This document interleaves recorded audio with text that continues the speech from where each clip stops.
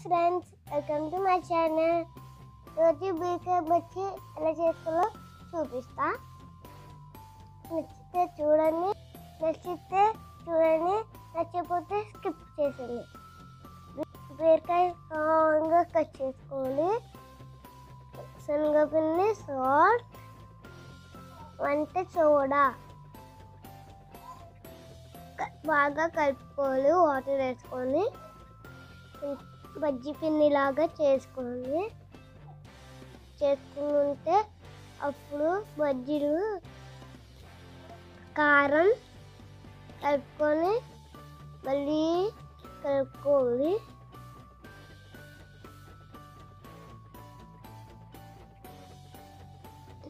బాగానే పెట్టుకొని ఆయిల్ వేసుకోవాలి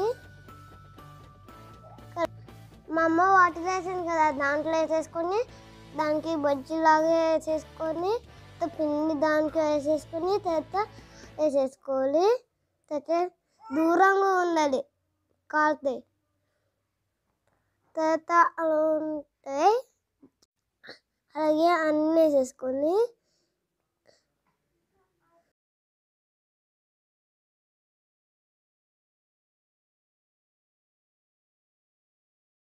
బాగా ఫ్రై చేసుకొని అలా బబుల్స్ వస్తే తర్వాత నూ- నూనె వస్తాయి కదా ఒక ప్యా ఒక స్పూన్ అవి తీసుకోరు. ఒకటి డాట్స్ లాగా పేలుతారు కదా అది తీసుకొని అలా అలాగా తిప్పుకోవాలి. తిప్పుకో అని ఉంచుకోవాలి. ఒకటొక్కటి ఇరుగుద్దాయి